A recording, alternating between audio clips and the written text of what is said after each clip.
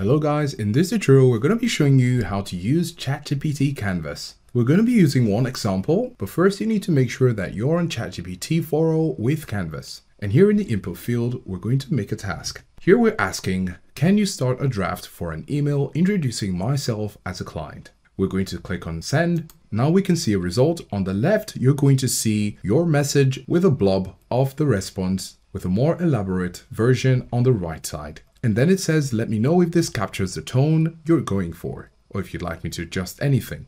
Of course, you could ask it to adjust anything here, or you can go over to the text which it has provided and edit it. For example, you could highlight it and you could click on bold to make it bolder. You could also increase the heading. For example, when we click on it, you have heading 1, heading 2, 3, and the body. So this looks small, we're going to change it to heading 1. And now you can see that it has been changed to a heading 1 font. Of course, we could make some edits here.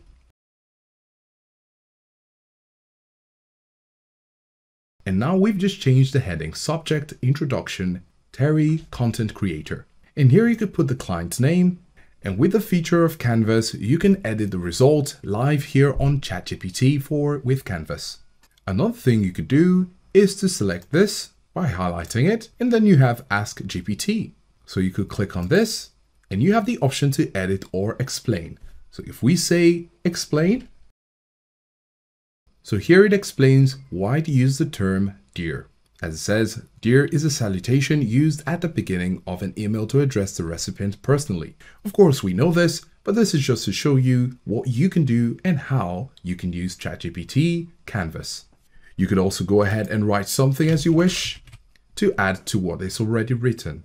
Now we have another cool feature here at the bottom right corner where we have suggest edits. It looks like a pencil, so when you hover over it, you have some other options. You have add emojis, add final polish, reading level, adjust the length, and you could add suggest edits. So here, if we want to add emojis, we could click on it and click again. And there we have something different in style.